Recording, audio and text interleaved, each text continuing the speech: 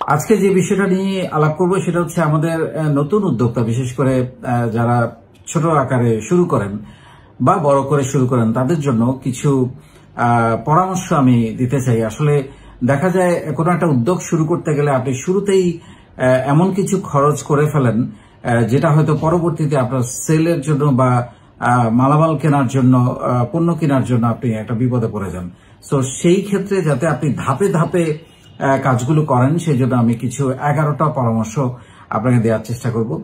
একেবারে ছোট উদ্যোক্তাদের জন্য শুরুতে যেটা বলব যে আপনি শুরুতেই শোরুম নিয়ে আপনার ব্যবসা করার কোনো দরকার নাই। শুরুতে আপনি একটা পেজ সেট করে আপনি ব্যবসা শুরু করতে পারেন এবং সাথে সাথেই যেটা করতে পারেন দুই নম্বরে যেটা হচ্ছে যে আপনি একটা সুন্দর নাম আপনার পেজের বা আপনার প্রতিষ্ঠানে যেটা একদিন বড় হবে এবং আপনার প্রতিষ্ঠানের একটা স্লোগান যেটা আমাদের নিজের বলার মতো একটা গল্প ফাউন্ডেশনেরও একটা সুন্দর স্লোগান আছে। এরকম একটা স্লোগান দিয়ে আপনি কিন্তু ব্যবসাটা শুরু করতে পারেন। তারপরে আপনার যখন কিছু অভিজ্ঞতা হবে কনফিডেন্স তৈরি হবে এবং মাসে কমপক্ষে লাখখানেক টাকার মতো সেল হবে, তখন আপনি আস্তে আস্তে শোরুমের দিকে যেতে পারেন এবং এক লাখ টাকা সেল হয়ে গেলে বা হওয়া শুরু হলে আপনি অবশ্যই আপনার কোম্পানির একটা ট্রেড লাইসেন্স করে ফেলবেন, প্রতিষ্ঠানের। কারণ এবং একটা ব্যাংক অ্যাকাউন্ট করে ফেলবেন। কারণ এই দুটো জিনিস আপনাকে কিন্তু একটা বিজনেসের ভিত্তি তৈরি করবে, আপনার একটা শক্তি তৈরি হবে, আপনার একটা অবস্থান তৈরি হবে যে আপনি একজন উদ্যোক্তা। এবং একই সঙ্গে আপনি যখন দিনে দিনে বড় হবেন, তখন আপনার লোনের দরকার হবে এবং আপনার যদি ব্যাংক অ্যাকাউন্টে আপনি ট্রানজাকশনগুলো করেন, আপনি সেলগুলো ব্যাংকে জমা করেন, খরচগুলো ব্যাংক থেকে করেন, তাহলে ব্যাংক আপনাকে লোন দিতে সহজ হবে ব্যাংকের জন্য। কারণ ব্যাংক কখনোই আপনাকে লোন দেবে না যদি আপনি ব্যাংকের কাছে না যান। ব্যাংকের সঙ্গে ট্রানজাকশন না করেন। সো এটা খুবই গুরুত্বপূর্ণ।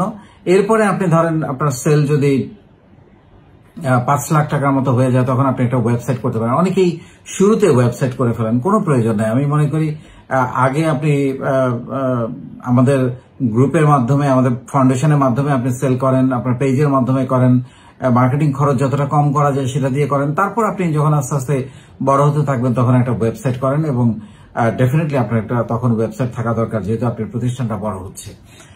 সো এই খরচটা আপনি চাইলে একটু পরে করতে একদম করতে পারেন, একদম শুরুতেই না করে। তারপরে যেটা হচ্ছে যে, এবং তখন আপনি একটা শোরুম চিন্তা করতে পারেন। ছোট করে একটা নিলেন, তারপর যখন আস্তে আস্তে বড় হতে থাকল, আপনি শোরুমটা বড় করতে থাকলেন বা ব্রাঞ্চ বাড়াতে থাকলেন, সেভাবে আপনি চিন্তা করতে পারেন যে, আপনার যখন দুই লাখ, তিন লাখ টাকা সেল শুরু হলো, তখন আপনি শোরুমের দিকে এগোতে পারেন। কিন্তু আপনি যদি পার্টনারশিপে ব্যবসা করেন এবং সেই মূলধন যদি পঞ্চাশ হাজার, এক লাখ টাকাও হয় আপনি অবশ্যই একেবারে শুরুতেই আপনি অংশীদারি চুক্তি করে নেবেন এবং যেই অংশীদারি চুক্তিটা আপনি অবশ্যই রেজিস্টার অফ জয়েন্ট স্টক থেকে রেজিস্ট্রি করে নেবেন এবং আপনি একটা ট্রেড লাইসেন্স করে নেবেন এবং একটা ব্যাংক অ্যাকাউন্ট খুলে নেবেন। যে ব্যাংক অ্যাকাউন্টে আপনার নিজের সিগনেচার থাকবে, টাকা উঠাইতে হলে যাতে আপনার সাইন লাগে, সেই ব্যবস্থা থাকতে হবে এবং আপনারা যে কমিটমেন্ট দিয়েছেন যে আমরা প্রত্যেকে এত টাকা করে দিয়ে কোম্পানিটা শুরু করব, সেই টাকাটা ব্যাংকে জমা করতে হবে। তারপরে আপনার কাজ শুরু করবেন। So this is also very important যে এটা হচ্ছে পার্টনারশিপের ক্ষেত্রে। যদি আপনি পার্টনারশিপ কোম্পানি করেন, সেটা ছোট ছোট হোক বা বড় হোক, আপনাকে আইনগত যে বিষয়গুলো ট্রেড লাইসেন্স ব্যাংক অ্যাকাউন্ট এবং অংশীদারি চুক্তি এবং সেটা রেজিস্ট্রি করে নেওয়া কারণ আপনি তিনশো টাকা স্ট্যাম্পে চুক্তি করে কাজ শুরু করেন, এটা কিন্তু কোনো ভ্যালু নাই। যদি না, আপনি সেটা রেস্ট অফ জয়েন্ট স্টকে রেজিস্ট্রি না করেন।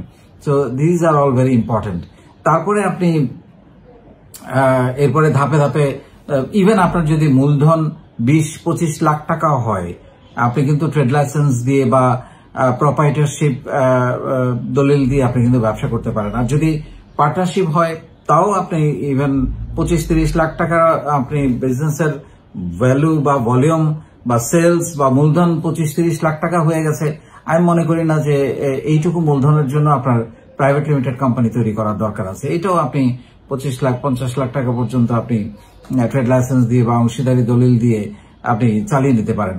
কিন্তু আপনার মূলধন যদি পঞ্চাশ লাখের উপরে হয় বা আরও বেশি হয় তখন আপনি একটা প্রাইভেট লিমিটেড কোম্পানি তৈরি করতে পারেন ফর্ম করতে পারেন। কারণ এটা কিন্তু প্রাইভেট লিমিটেড কোম্পানি হয়তো মানে শুরুতে করতে অনেকেই না বুঝেই শুরুতেই পঞ্চাশ হাজার, এক লাখ টাকা মূলধন একটা প্রাইভেট লিমিটেড কোম্পানি খুলে ফেলছেন বা দুই লাখ টাকা বা পাঁচ লাখ টাকা, কোনো প্রয়োজন নেই। কারণ এটা কিন্তু অনেক রকমের দায়বদ্ধতা আছে।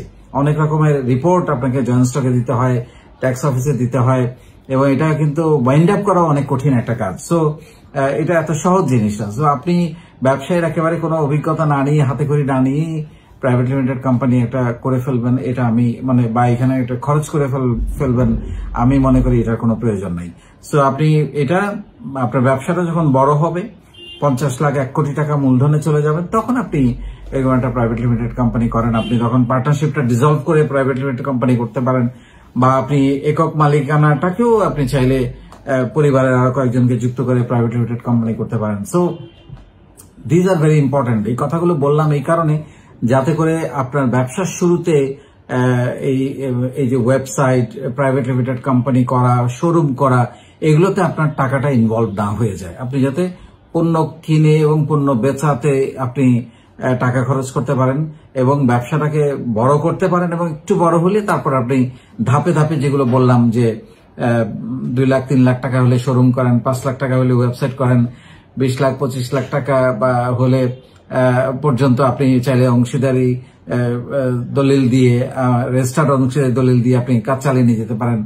এবং আরও বড় হলে আপনি তখন প্রাইভেট লিমিটেড কোম্পানি করতে পারেন। তাতে আপনার এই খরচগুলো কমে যাবে এবং আপনি কিন্তু স্বাচ্ছন্দ্যে আপনার বিজনেসের জন্য কাজ করতে পারবেন।